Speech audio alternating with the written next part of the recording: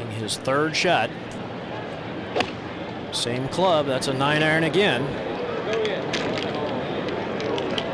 No! Wait a oh. minute. Oh. Well, Uh, that's the All-American par, Gary.